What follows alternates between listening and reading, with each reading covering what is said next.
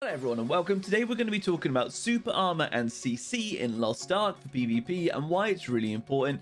First guys, if you do have any questions, remember you can always catch me live on twitch.tv forward slash Ben Lee Gaming TV or right here on the YouTube channel where I do stream four to five times a week. And as always, a like and sub would be greatly appreciated. But to understand what super armor is in the game, you need to understand that there are different levels of CC, which all require a different level of super armor in order to counter them. So you have level 1, 2, and 3. Level 1 is Stagger, and this is split into Soft Stagger and Hard Stagger.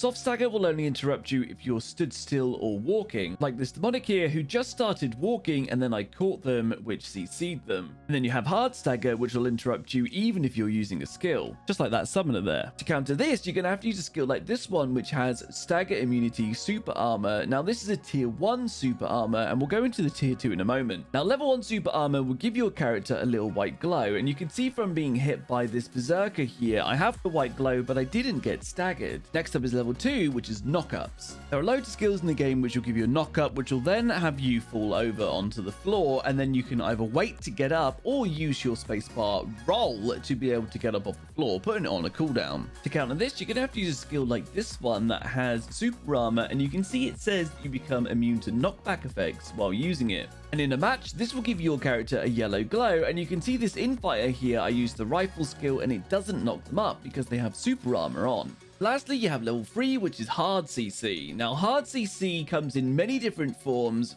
such as freeze, stun, paralysis, electroshock, and even more. And of course, this will CC someone even if they're using tier 2 super armor. So to counter this, there's only a few things you can do. Your ultimate has all immunity super armor, and so does your spacebar dash. Outside of this, the Bard has a team CC immunity, and the Warlord also has a self all immunity buff as well. But to keep it general, this is how you counter them. Alright guys, so I'm just keeping the video really short and sweet. It's really important to learn this stuff to get good at PvP. So learning the super armors and the different levels is super imperative to your performance in PvP. But with that said, remember you can catch me live on Twitch or on YouTube here. And we've also got our community Discord with lots of helpful builds and guides, as well as recruiting for our Western Guild and community. Then hit up the description below and let me know in the comments if you found this useful or not. And until the next one, guys, I really appreciate you and I'll see you very soon.